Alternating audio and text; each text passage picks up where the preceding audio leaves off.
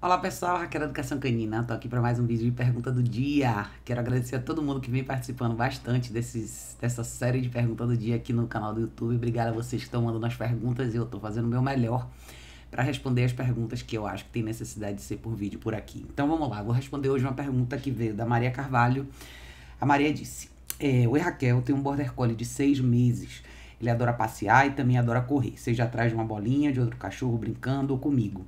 Quero começar a correr sair do sedentarismo e gostaria de levá-lo comigo, mas não sei se posso devido à idade dele. Se devo aumentar a quantidade de ração ou suplementar, quando levar água para ele, quanto tempo um cachorro pode correr.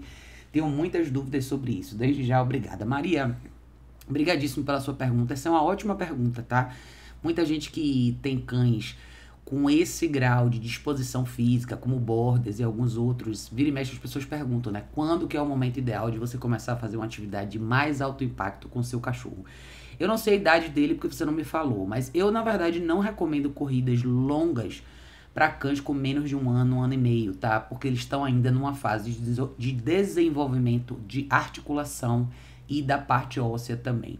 O que, é que eu acho que você pode fazer? Se o seu cachorro tiver menos de um ano, tiver na fase aí de entre 4 e 8 meses, você pode começar mais ou menos a avaliar a habilidade física desse filhote, tá? Comece com caminhadas mais longas, incremente o tempo da caminhada aos poucos e veja até onde ele vai, tá? Então, muitos cachorros que parecem ter muito drive, muita disposição, às vezes não necessariamente são os cães mais resistentes.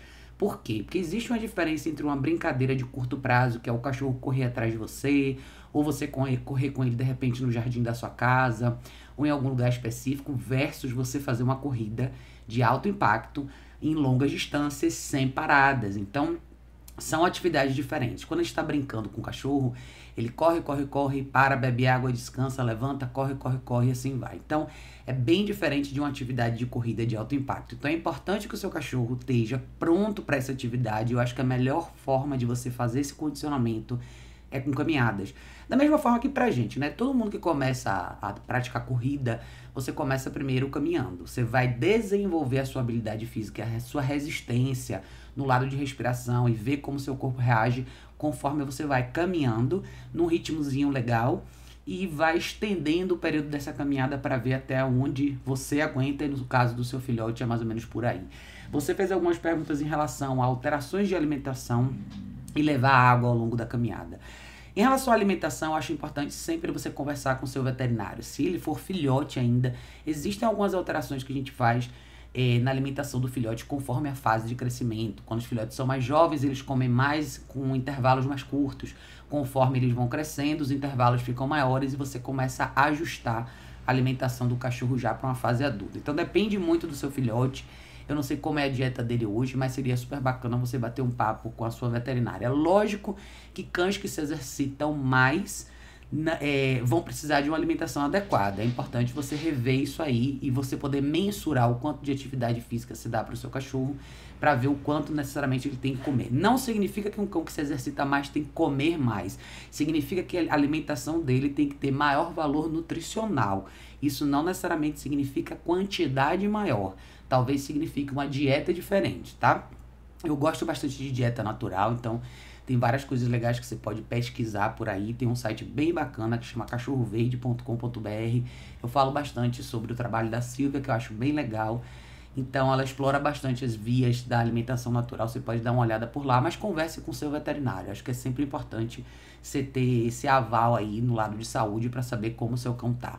É importante você fazer exames também e ter certeza que o seu cão não tem nenhuma predisposição para doenças de articulação, como displasia e, e afins, ou problemas de coluna ou problemas cardíacos. Então faça uma revisão geral e veja como é que ele tá. Mas eu acho que para começar no caminho certo, comece com caminhadas. E como é que você vai descobrir que o seu cachorro tem uma disposição maior ou não, tá? É o que eu falei um pouquinho antes no começo do vídeo. Quando você começa a entrar com seu cachorro numa rotina de caminhada estruturada, e o que, que eu falo de caminhada estruturada? É você conseguir organizar um roteiro para que a sua, sua, caminhada aconteça, que é reduzir a, a, a agitação e ansiedade, é o seu cachorro conseguir esperar, colocar guia, andar do seu lado, seguir suas instruções ao longo de uma caminhada longa. Você vai descobrir que num processo de caminhada estruturada, requer muito mais concentração do cachorro do que exatamente o lado físico. Um cachorro que tem a habilidade de se concentrar melhor, consegue andar mais tempo, ou seja, ele consegue otimizar o lado físico da caminhada bem melhor do que um cachorro ansioso ou agitado demais. Ansiedade e agitação extrema tendem a ser é, momentâneas, ou seja, seu cachorro só consegue ficar naquele estado por um momento específico. O que, é que vai acontecer? Ele vai usar toda a energia dele naquele primeiro momento e se você esticar uma caminhada longa, vai ficar muito claro que ele não vai aguentar. Então preste bastante atenção nesses dois lados, tá? Se você realmente quer entrar no roteiro de atividade física junto com seu cachorro, se prepare e prepare ele também para isso. Se você fizer um bom condicionamento, com certeza ele vai ser um ótimo companheiro para você lá na frente. Mas considere o que eu te falei desde o início, tá? Começar direto com corrida eu não acho que é o ideal. Eu acho que é ideal você começar com caminhadas mais longas. Eu não sei o seu roteiro agora, nem a idade dele, mas se você já estiver num, num, num ritmozinho legal, comece a estender um pouco mais a caminhada e peça mais concentração, mais atenção dele em você ao longo da caminhada, porque isso vai ser essencial para amanhã um cachorro que corre com você. Um cachorro distraído, que quer ir em cima de todo mundo, que quer pular nas pessoas, que quer cheirar tudo, nunca vai conseguir fazer uma boa, uma boa corrida com você, porque ele vai se distrair com tudo que acontece ao redor dele. Então, lembre que até para um esporte como simples como corrida, é muito importante que o seu cachorro tenha uma certa noção de quais são as regras dessa atividade. E, de novo, eu acho que isso começa com uma boa estruturação do roteiro, da, da dinâmica, né? Do que a gente chama de caminhada. Então, quando eu falo de caminhada estruturada, é isso. Ela nada mais é do que um preparo para qualquer outra situação, inclusive essa situação que você citou aí, tá bom, Maria? Espero que tenha te ajudado.